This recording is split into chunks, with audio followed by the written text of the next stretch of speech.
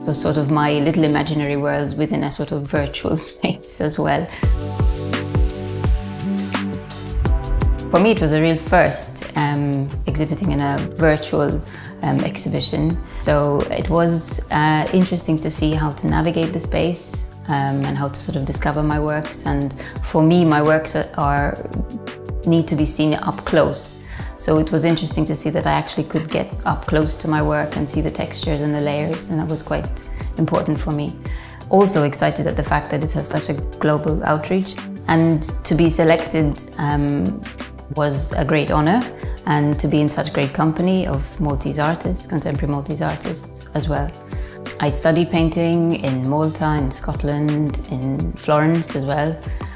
And I'm quite invested in the whole process of painting and the practice of painting, you know, the materiality, the slow time of it.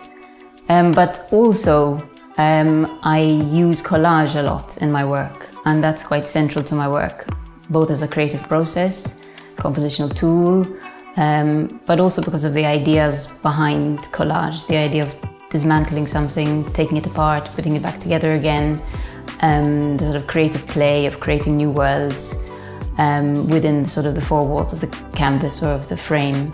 And a lot of my work is about structures and about as well the fragility of structures and the instability of order and how easily things fall apart and collapse. So a lot of my work actually uses architectural motifs, um, sort of as metaphors for the idea of, um, in a sense, all human structures. Um, I think my work sort of takes a bit of an allegorical um, vein, quite influenced by the Quattrocento after spending some time in Florence, um, in terms of its aesthetics and the way it sort of positions itself halfway between sort of reality and um, the imaginary.